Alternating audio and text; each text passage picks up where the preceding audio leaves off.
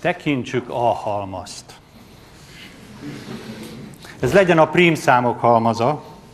Egy pozitív egész számot prímszámnak nevezünk, ha egyen és önmagán kívül más egész számmal nem osztható.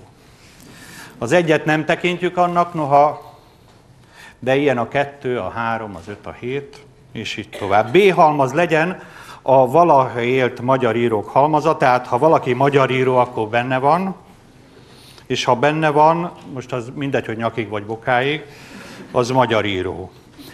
Írónak azt nevezzük, hát lényegében, amit primnek, hogy az egyen és önmagán kívül ne legyen más osztója, lásd még a mindenséggel mért magad. Ha pedig valaki író és magyarul ír, az magyar író. Ez a felfogás tehát nem tud értelmet tulajdonítani a magyarul ír, de nem magyar író kifejezésnek, illetve ez barokkos megjelenítése annak, hogy az illető nem író.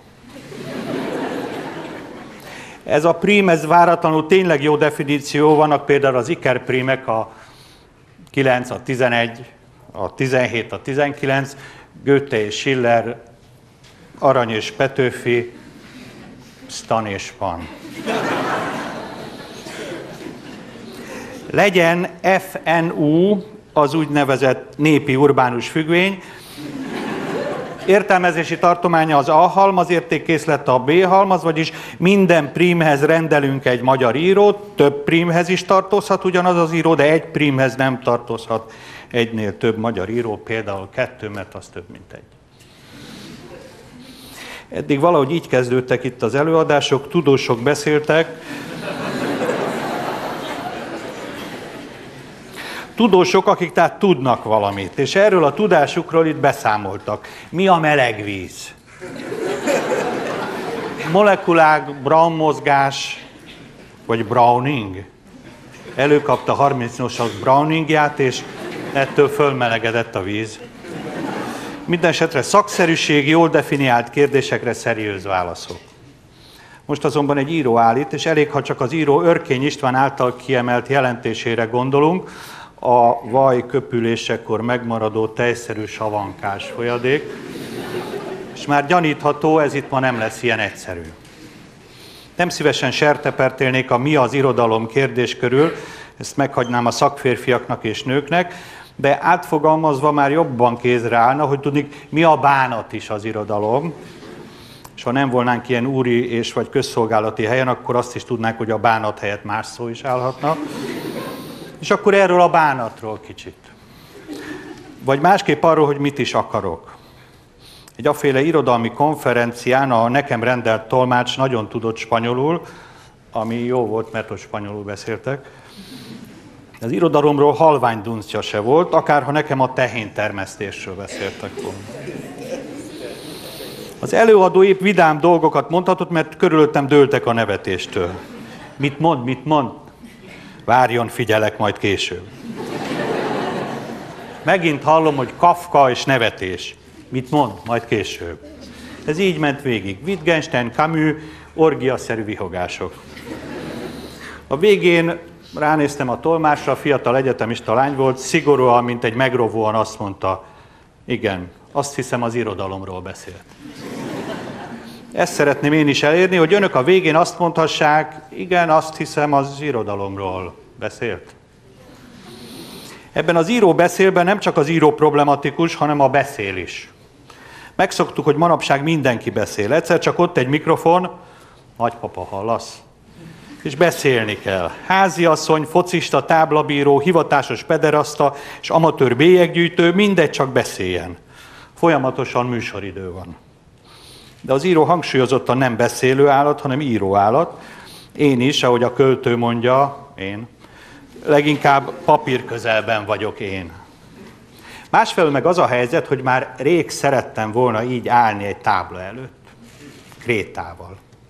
Eddig meg is volnánk, de láthatták és látandják, hogy az igazi tanárok ilyenkor lazán a zsebükbe dugják a kezüket, és csak adnak, adnak, adnak elő. Hát ebből itt nem lesz semmi. Van én nekem rendes kéziratom, sok szó van rajta, mert kimélet nélkül mind fölolvasok. Egyetem ez nem szórakozni vagyunk. Láma, mi végre vagyunk a világon alapkérdésre, mint egy véletlenül kaptunk egy részválaszt. Heidegger szebben tette fel a kérdést. Wozu Dichterin dürftigen Zeiten? Vagyis mi végre volnának a költők ínséges időben? Ez a mi végre is témánk. Szokták mondani, az író szerszáma a nyelv. Ez majdnem igaz. Én szívesen látom az írót magamat, mint kézművest. Még inkább kőművest, kőmíjes. Tégla, malter, rakni, nő a fal, leomlik, újra, föl le, kelemenné, szóval valami nő.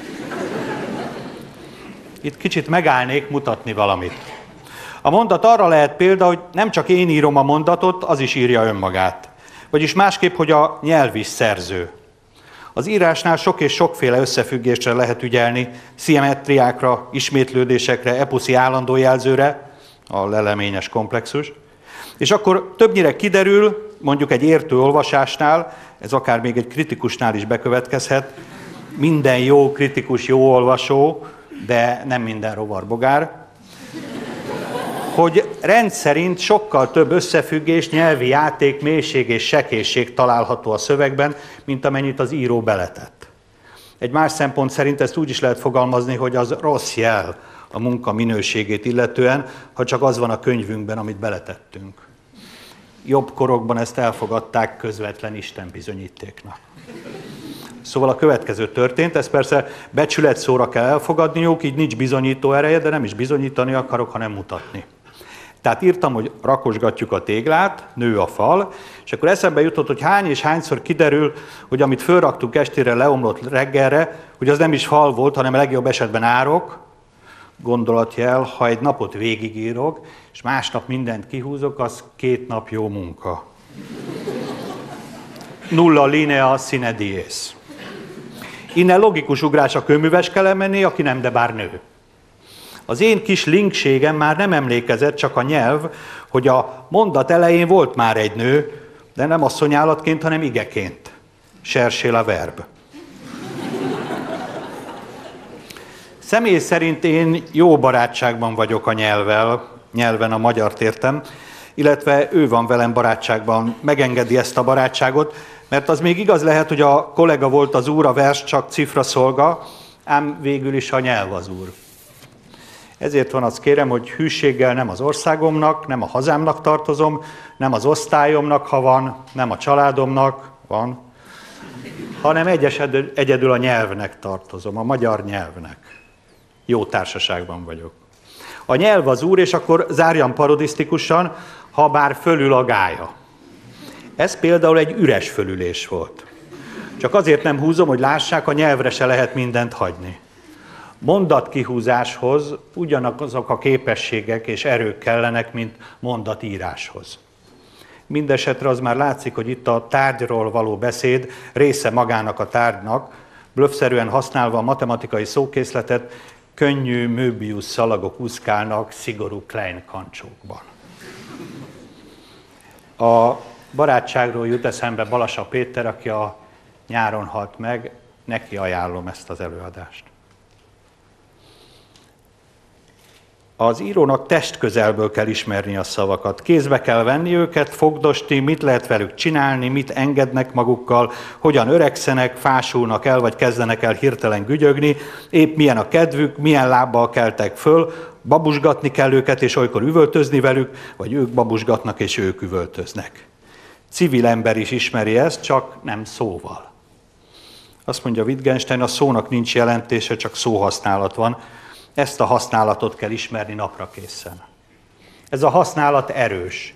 Szél ellen nem lehet szó használni. Itt alkalmazkodni kell, fölemelt fejjel gerincesen vállat vonni. Egy ideig ragozhatjuk tisztességesen az ikesigéket, csokoládézhatnám. De a nyelvi rögvalóság kicsúszik alólunk, hisz az ikesigeragozás stiláris értéke más, mint akár 20 éve, Úgyhogy ha az ember nem vigyáz, azon kaphatja magát, hogy kisújja eláll, tartva a kávés csészét. Kisújjunk elállna, ha tartanók a csészét. Ez most nem ikessége volt, hanem tárgyas rakozás. Kevés dolog van messzebb a finomságtól, mint a finomkodás. A szóhasználat változik térben és időben. És ugyan igaz, a nyelvnek van írója, nem az országnak, de mégis mondjuk, meddig német a német. Zürichben ugyanazt a nyelvet beszélik-e, mint Bécsben? Nem egészen. És Csíkszeredán se úgy és azt, mint Budapesten. És más a környezet is. Másképp hangzik az elkiáltott szó egy kútban, és másképp a pampákon. Föltéve, hogy a pampa olyan rónaszerűség, nem pedig egy állatfajta, a puma és az emu közeli rokona. Bár nagy baj a műveletlenségen túl nem volna az akusztikai példázat stimmel. Tehát, hogy egy példával éljek, ha azt mondom Zürichben magyar, ejsd magyar, az mást jelent, mint Bécsben. Édes hazám. Lefordíthatatlan szójáték. Csíkszeredán más a dimenziója, a színe, a sötéte, a játéka, a drámája a magyarnak, a szónak, mint Zalakaroson vagy Óbudán. Itt nincsen drámája. A dráma nélküliség drámájáról szól azt hiszem az egész modern irodalom. A nincsben lévő vanról. A lét elviselhetetlen könnyűsége írja Kundera Párizsban. És ez pontos, csak itt még a könnyű is nehéz. A szavak szivárványzása nem csak térbeli, hanem időbeli is. Szavaknak idejük van, vagy másképp idő van a szavakban, a mi időnk, a használóké, a mi történelmünk, mi magunk. Elfelejtünk szavakat, másokra rálelünk, olykor túlságosan is, és lesznek divatosakká. Azt mondták, hogy ilyenkor semmit ne csináljak, hanem olvassak.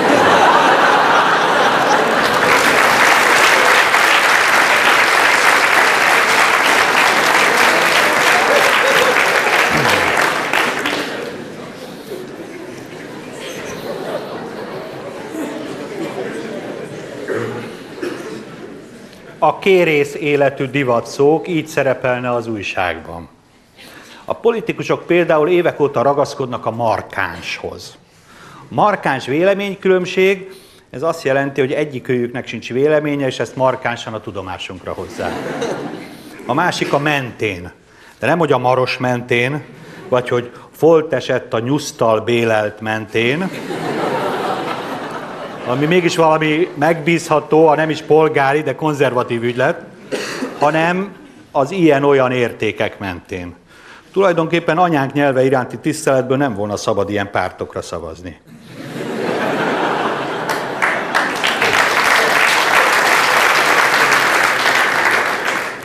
Azt már nem is említem, hogy egy párt aki. Markáns, mentén, aki, erőszűrő. Ha még az alkalmasintot is hozzáveszem, már pedig hozzáveszem, hogy tudni, az nem azt jelenti alkalomottán, hanem hogy vélhetőleg, valószínűleg, akkor csak állnánk itten pártok nélkül, ami nem volna érdekünk szügyig mélabúban. Tapasztalataink jó részt a diktatúrából valók, nyelvi tapasztalataink is. A diktatúrákat szenvedélyes, mit nem mondjak, vérmes kapcsolat fűzi a nyelvhez, Elég, ha Orwell 1984-ére utalok, a newspeakre, az új nyelvre, az új beszélre. Mert az embereket meg lehet félemlíteni, és akkor az emberek megijednek, és mindent bevallanak, és mindent elfelejtenek. A nyelv azonban fütyül a diktátorokra, még csak nem is röhög rajtuk, csupán vállat von, ezért igazuk van a diktátoroknak, ha meg akarják változtatni. De a nyelvet nehéz megváltoztatni. A nyelv persze nem jó és nem erkölcsös, azaz nem úgy van, hogy utálja a diktatúrákat és szereti a szabadságot. A nyelv van, és a vant nehéz megváltoztatni. De ha van, van a diktatúra is, és annak is van nyelve, teremt magának. A szocialista szó például, azt hiszem ez Cakó Gábor megfigyelése volt, fosztóképzőként viselkedett. A szocialista demokrácia a demokrácia, a szocialista erkölcs az erkölcs hiányát jelentette, a szocialista jövő maga volt a kilátástalanság, mélységes mély a jövő kutya, a szocialista segítségnyújtásról pedig szegény Dubcsek tarthatna pszicholingvisztikai értekezés.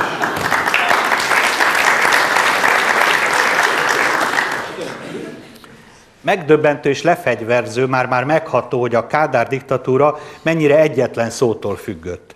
Legitimitását maga előtt és erejét az adta, hogy ellenforradalomnak nevezte a forradalmat. Illetve mi neveztük annak, pontosabban ki annak nevezte, ki nem. A társadalom, mint olyan, annak nevezte, de az embereket lehetett e szerint osztályozni. Ellenforradalmat mondott, aki így gondolta, vagy nyíltan behódolt, vagy elege volt már az egészből, és nem gondolt semmit. A nyíltan ellenszelgülő forradalmat mondott, ezeket kis túlzással egy kézen meg lehetett számolni, mostanra már több száz síva kéne.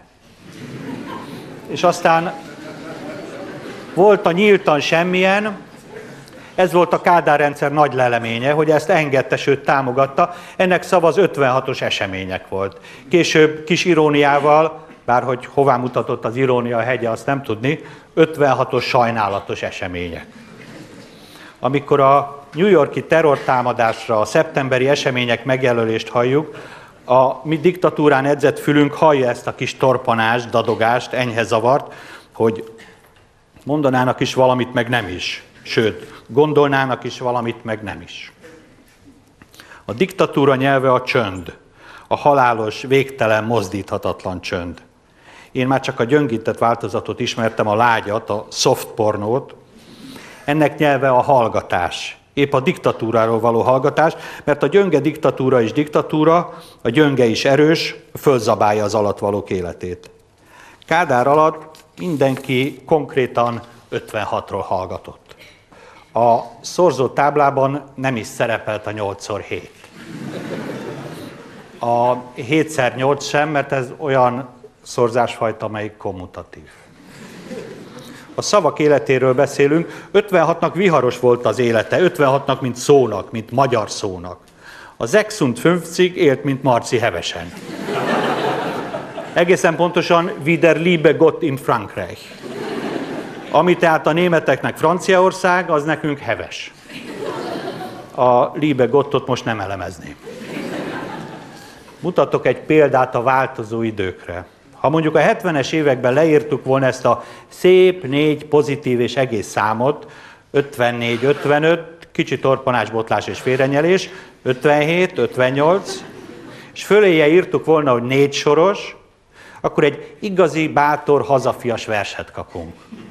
Vélhetően nem remek mű, de a hiányzó mágikus szám érzékletesen fejezi ki a magyar nép örök szabadságvágyát, és így tovább. Tényleg ott lüktet a Gottfried Bent idéző újtárgyiasság, mely mint egy Petőfi Sándor okos lelkesültségével ötvöződik. Elmúltak a csúf idők, és ha most megpróbálkozunk így ebben a négy számmal, 54, 55, 57, 58, avval csak azt dokumentáljuk, hogy nem tudunk számolni. Hová lett a számok-e sorrendjéből a szabadságvágy, és Ben és Petőfi? Elvitte a kis cica. Vagyis a kivonuló szovjet katonák, vagyis a demokrácia. Ha nem kell sejtetni, akkor nem is lehet sejtetni. Akkor beszélni kell, gondolkodni, mérlegelni, állást foglalni. Túlélőkből élők lettünk.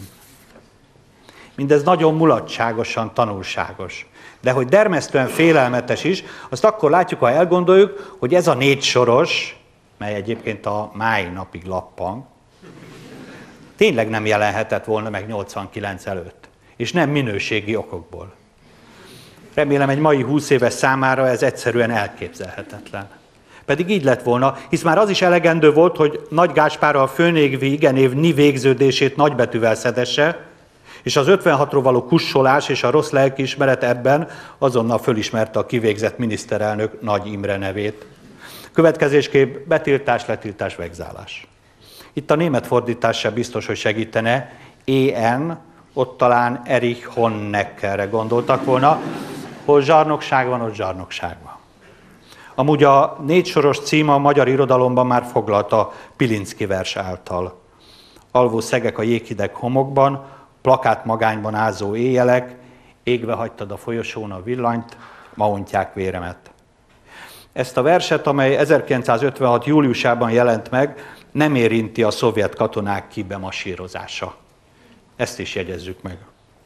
A szavak múltjának ismerete nem írói szakföladat, hanem mondhatni hazafias kötelesség, minden esetre szükséges, ha nem is elégséges föltétele az európai társalgásnak. Ha egy szót bepiszkoltak, vagyis piszkos fráterek elhasználtak, akkor ez a használat is hozzá tartozik a szóhoz. Ha akarjuk, ha nem. Ez nem döntés, nem elhatározás kérdése. Ha az élettér kifejezést mérnök vagy belső építész használja, nem történik semmi. De ha már a magyarság életteréről beszélnénk, szándékaink legyenek bár a legnemesbek, ott üvölt a szó mögött az egész náci vircsaft. Vagy finoman szólva nem szerencsés a romák lakás problémájának végső megoldásáról beszélni. Egyrészt, mert nyilvánvalóan hazudnánk, másrészt azonnal betemetne minket az endlőzünk nyomasztó árnya. Tévedés ne essék, ez nem politikai kérdés, hanem nyelvi kérdés. Bár az igaz, hogy az meg politikai kérdés. A nyelv erősebb. Annak idején nem értettük, hogy miért lett nemzetközi botrány abból, hogy a Fradi Ajax meccsen huhogtak. Tudni, ha egy színes bőrű ért a labdához. Azt hittük, ez csupán a nagyképű hollandok fölényeskedése. A hollandok valóban nagyképűen fölényeskedtek, de a huhogás, mely egyébként sokkal gyakoribb, vagy gyakoribb volt a nyugati futballpályákon, mint nálunk, az olyasmit jelent, mint büdös nigger. Csak föl kell lapozni a nem létező szótárt. És erre hiába mondjuk, hogy mi ezt nem úgy értettük. Mi nem ezt akartuk mondani. Helyes, akkor meg kell tanulni a nyelvet, semmi nem indokolja, hogy ezt sértődötten ne tegyük meg, és akkor azt mondjuk, amit gondolunk. Többé-kevésbé. De hát nem abszurd ez. Azért, mert egy vacak náci vagy nyilas használta ezeket a szavakat, azért én ne használhassam? Igen, azért. De én a szót az eredeti értelmébe használom. Nincs eredeti értelem, hanem van, ami van. De hát ez a szabadságom korlátozása. Valóban az. Ha nem történt volna meg mindaz, ami megtörtént, nem kerültünk volna ebbe a helyzetbe. De a 20. század, maradjunk ennél a szónál, abszurditásai után nem ez a legkevesebb? Ez a figyelem? Ez az óvatosság? Ez az önkorlátozás? Nem másnak teszünk gesztust, nem mások történetéről van szó, hanem a miénkről. Érzékenységünk nem udvariasság, hanem erkölcs. Nem véletlen, hogy példáim a fasiszta diktatúrából valók. Ez nem a sokat emlegetett kettős mérce, hanem rasszizmusban egyszerűen jobbak a nácik, meg a nyilasok. Gazdagabban, gazdagabb a nyelvük, mert ebben gazdagabb az életük. Megígérték, hogy kiírtják az emberiség egy részét, és kiirtották az emberiség egy részét. Ezzel szemben a kommunisták megígérték, hogy mindenki egyenlő lesz, és kiirtották az emberiség egy részét. A két dolog, látjuk, nem azonos, innét a példatár féloldalassága. Ezek a nyelvi közmegegyezések nem különleges dolgok. Mindennapjaink része. Tudásuk nélkül egy lépés sem tehetünk. Röviden elmesélem a Wittgensteini kőműves esetét velem régi történet, majdnem negyed század, ahogy építkeztünk, de olyan, mint egy irodalmi remekmű, nem érinti a szabadság hullámzása. A kérdésemre, hogy valami mennyibe kerül, azt mondja a tisztességes és hozzáértő kőművesmester, kolléga tehát, hogy 20 ezer. Amin én azt értettem, hogy az a valami 20 ezerbe kerül. Ha 19-et mondott volna, nem lett volna hozzáértő, ha 21-et, akkor nem lett volna tisztességes, 20 az ára, tehát 20-at mond, és majd annyit fizetek, ha tudok. Eltelt fél év. Már más ember voltam. Arcomra váratlan árkokat vágott az idő, egy kelet-európai tetőtér beépítés konok kemény ideje. Ha ekkor hallottam húsz, mert kérdezni már nem kérdeztem, megtanultam, hogy nem szabad minden csak kérdezni, nem? Szóval azt is tudtam, hogy ez a, sok, ez a húsz sok mindent jelenthet, egyet biztos nem, hogy az a valami húszba kerül. Illetve még az is lehet, hogy annyiba az csak azt jelentette, hogy abban a helyzetben neki egy számot kellett mondania. Kettő, három, öt, hét, vagy pi, vagy húsz, vagyis csak nyugalom, majd lesz valami főnök úr, én meg fogom csinálni, maga ki fogja fizetni, nem kell aggódni. 20 ezer az azt jelenti, hogy élünk, megvagyunk, és előbb-utóbb a tetőtér is készen lesz, talán. A változás lényegében leírható Wittgenstein fölfogásának alakulásával, a traktátus szigorától, hogy csak arról beszéljünk, amiről beszélni tudunk, a nyelvjátékok hallgatáson túli beszédéig, beszélgetéséig. De ez csak közbevetés volt, a féloldalas példatárnál tartottunk. Németországban csináltak egy közhelyszótárt, melynek magyar változatát néhány éve Barna Imre és Dalos György készített el Szócséplő néven. El is hoztam. Ahol forgatható korongok segítségével hihetetlen dolgokat lehet kiforgatni. Itt most az sikerült, nem a legjobb. Mérsékelt trianoni magánosítás, a jelzés értékű tárgyszerű filozófia felel meg. 8192 szólam állítható elő nemzeti konzervatív, illetve szoclib változatban. Foszforeszkáló ürességeket lehet kiforgatni, a közéletbe angazsáltak számára a kötelező játék volna. Az egyetemes gyökerű Kárpát-medencének a jövőorientált piackonform másság válaszol. A 15 millió gerincű önépítésnek a szabad kisebbségi alternatíva a rendíthetetlen nemzeti tragédiának a szociális bíbói kilábalás. Mintha nem szkonz rizsákon jobban lehetne vihorászni, mint a szoclibeken. De ez nem azért van, mint a Rúci Barita vázolnánk, és nem is azért, mint az ürességek minőségében lenne különbség, hanem azért, mert a jobboldali szóhasználat erősebb kapcsolatban áll a nyelvvel, a nyelvet az összetartás jelképének tartja, Szép az az anekdota, amelyben valaki magyar turista New Yorkban magyar beszédet áll a háta mögött, ízes szögediest, megfordul, két fekete beszélget egymással. Nyilván Szegedre jártak az orvosira, turista szinte automatikusan mondja, rémülten és örömmel, hát maguk is magyarok.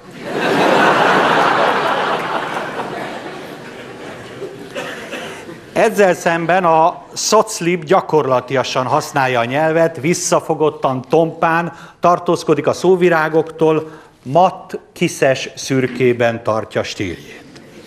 Azért ezek a fakó kifejezések is megérik a pénzüket. Lám ez a mondat most 2003 nyár végén életesebben viselkedik, mint a Fidesz kormányzás alatt. Mindig van mondat, amely beéletesedik. Tovább idő, pénz. Ha már a nyilasoknál, meg az ávosoknál voltunk, ejtsünk szót a trágárságról. Trágárság, obszénság, drasztikusság, mosdatlanság, vaskosság, nyomdafestéket, nem tűrőség, illetlenség és irodalom, mi itt a helyzet. A művészet legfőképp szabad akar lenni, érzékeny a hazugságra, a maszatolásra, a tartüfökre.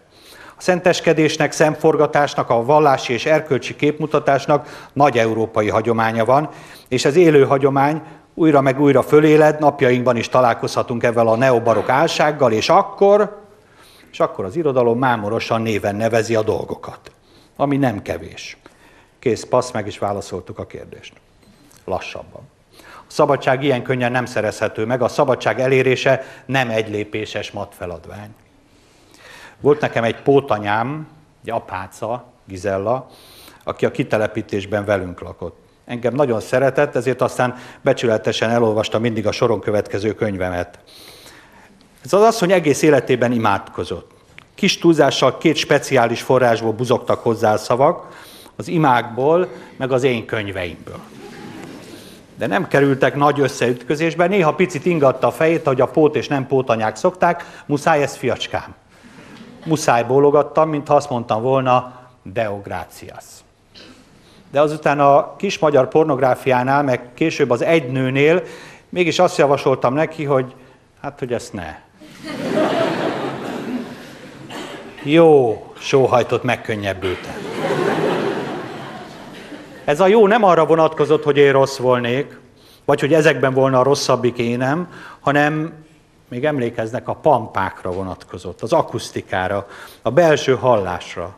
Az én, nevezzük most így erős szavaim, kifejezéseim, az ő imádságból, egy életen átvaló kontemplációból épült szóterében azonnal fölrobbantak. Egy ilyen után lapokig nem történt semmi, csak füst, láng, kormos törmelék, vagyis a szavaim rosszul viselkedtek, nem úgy, ahogy én szántam, vagyis rossz volt a szöveg. Nem mert én elrontottam, hanem mert ez esetben író és olvasó nem volt egymáshoz való. Nem volt esélyük egymással.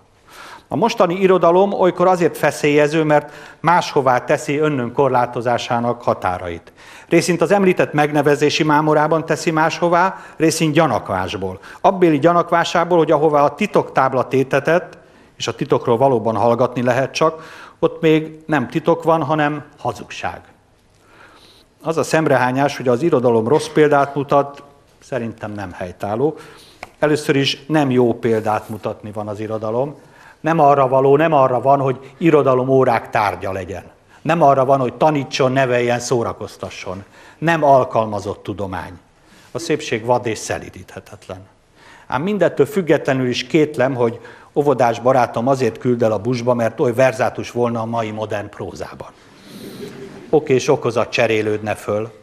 Magam is olvasó lévén szívesen hárítom a felelősséget az olvasóra. Te, drága olvasó, te beszélsz így, miért gondolod, hogy a könyvekben nagyon más találnál? A mai író nem áll fölötte az olvasónak, nem olyan valaki, aki megmondaná az igazságot, ugyanolyan tévegő alak, mint te, egy sorstárs, vagy ahogy Ottlik írta, egy ürge. Ami persze a példaadást illeti, az egy általánosabb társadalmi jelenség része. Úgy beszél, mint a kocsisok, mondották régebben. A hány millió kocsis országa lettünk? Régebben a művelt, vagy csak a pozícióban lévő ember súlyt vetett arra, hogy választékosan beszéljen. A turóba ez ma nincs így. Szerintem nincs obszén szó, csak obszén összefüggés. Egyébként hiába adnának egy tiltólistát szavakról, témákról, bármiről, dudolva lehetne undorító mocskos pornográf szövegeket eszkabálni, már ha ez volna a nemes cél. Ugyanazok a szavak, mozdulatok, melyek a pornólapokban vannak, egy szerelem csodájában megszentelődnek. Erre a csodára az irodalom is képes, igaz, mint minden csoda, ez is ritka. Az irodalom a csoda hiányáról is beszámol. Vagyis mindig az egészről van szó, és nem a szavak felosztogatásáról szalonképesekre és szalonképtelenekre. Meg hát nincsen is szalon. Ide tartozik még, hogy a magyar nyelv e tekintetben másképp viselkedik, mint Shakespeare vagy Rabelais nyelve. Arany János erotikus írói veszélyét egy titok zsebben tartotta, nem volt nyilvános. A magyar nyelv szemérmesebb, olykor prűdebb, mint az említettek. Ez esély is, nyűg is. Egyébként én még úgy tanultam, hogy a káromkodás az az Isten káromlása, nem egyszerűen a csúnya beszéd, de nézve a tudós szótárakat, ma ez általában a trágárságot jelöli. Azt a régi káromkodást, azt semmilyen formában nem tűröm, a sejtjeim nem tűrik, fizikai rossz hallanom. Azt hiszem, még sosem káromkodtam. Egy kivételt engedtek meg ezek a pápista sejtek, a tüneményes Varga Balázs egy örök életű kétsorosát ez is tanít az Istenit.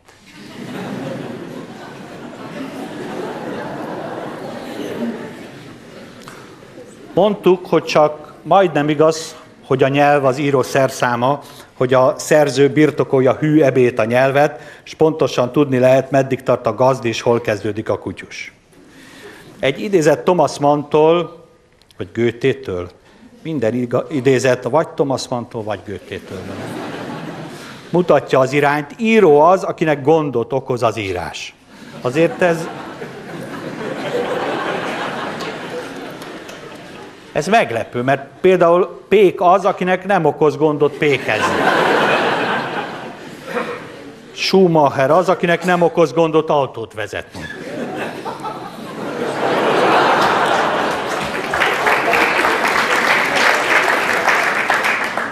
A Ferrari meg az, akinek nem okoz gondot a Schumacher, de elnézést.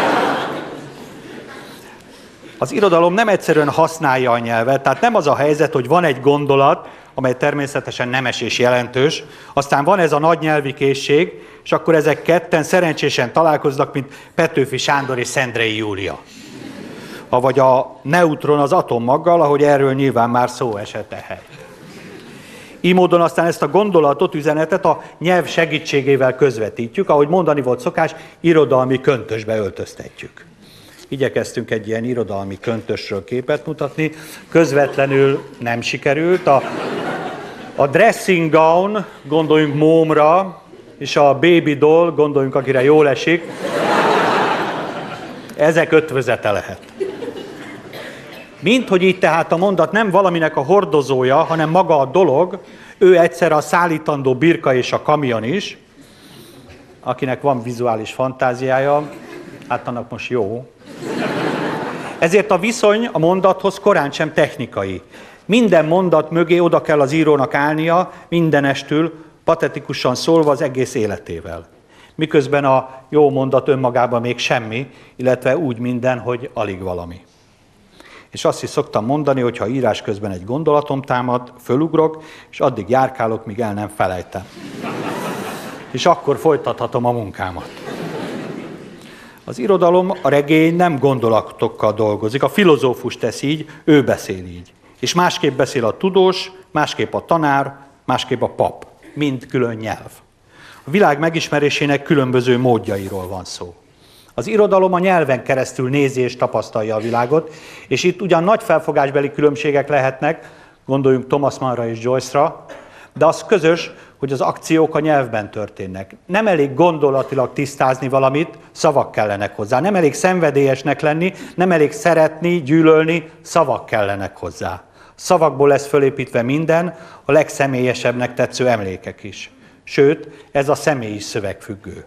A mai szerzőt a szöveg teremti. Így aztán nem is lehet kifelé mutogatni a szövegből, a szöveg a világ. Van, aki ezt a nyelvben létet másképp gondolja, vagy legyint rá, nem érdekli, mert mondjuk az irodalmat erősebben a történelem felől nézi. Ez a felfogás az irodalmat a közösség vagy a nemzet szolgáló lányának tekinti, valaminek, amit egy magasabb cél, a haza üdve érdekébe be lehet vetni. Szabadság hiányos időkben, és szeretjük azt mondani, hogy errefelé ilyenek voltak az idők, nagy a vonzása a szolgáló lányos látomásnak, mert jól és természetesen működik. Meg nincs is nagyon választásunk. Ha nem lehet beszélni, az irodalom fortélyosan tud hallgatni, épp mondjuk az elvesztett szabadságról. Ma így nem működik. Az irodalom továbbra is többek között az elvesztett szabadságról beszél, csak most már látjuk, amit eddig is lehetett volna, hogy ez nem pusztán politikai kérdés. A szolgálólányos fölfogás azt is föltételezi, hogy az irodalom a társadalmi hierarchia fontos pontján áll, ez ma nincs így. A társadalom többé-kevésbé fütyül az irodalomra, amit én többé-kevésbé rendben lévőnek tartok, az a része is fütyül, amely osztja a most említett fölfogást. A szavak jelentőségével és egyszeriségével kapcsolatban emlékeztetek így és Haza a magasban című versére. Te mond magadban, behunyt szemmel, csak mond a szókat, miktől egyszer futóhomokok, népek, házak Magyarországá összeálltak. Haza a magasban, haza a szóban. A fentiek értelmében alig provokatívan úgy mondanám, hogy az gyanús, ha az írónak mondani valója van. Illetve ha van, akkor mondja, álljon katedrára és beszéljen. De úgy van, ahogy Josif Brodsky írja, szakmánk méltóságának nem a szónoki emelvényen tanúsított magatartása mércéje. Rendben, szerző ne akarjon mondani semmit, de ha a könyve sem mond semmit, akkor minek az egész fölhajtás? Akkor az univerzum legerkölcsösebb, legszebb, leghelyén valóbb mozdulata, hogy úgy hajintjuk a sarokba az ilyen könyvet, hogy csak úgy nyekken. Vagy sudba, az is jó. De ha sudba, akkor inkább górjuk. Úgy górjuk a sudba, hogy csak úgy nyekken. A nyekken az maradhat. A sut az olyasmi, mint a puma, csak melegebb.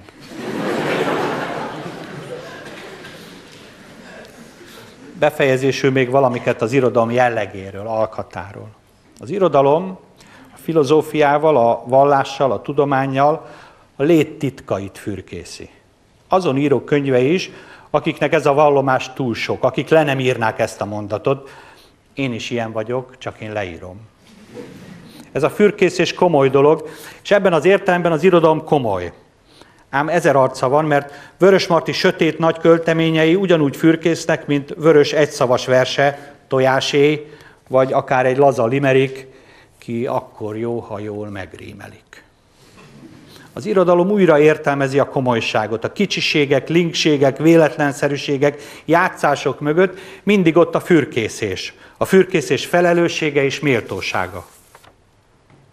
Van, aki azt szeretné, ha az irodalom is világos kérdésekre világos válaszokat adna, két derékszögű író négyzetének az összege, és így tovább. Egyáltalán, hogy valljon szint. Az irodalom azon, azonban inkább színeket val. Az igen nemhez, a bináris világhoz nem kell író, az főként a talánhoz meg a lehethez kell. Bárki tudja. Mert tud persze az irodalom is zaftosan egyértelmű lenni, akasszátok fel a királyokat. Tömör világos fogalmazás, polgári program, szoci beütéssel. Az irodalom bonyolult. Tandori szavával bonyi. Nem gonosz posztmodernek vagy ásatag naturalisták bonyolítják, hanem eleve az.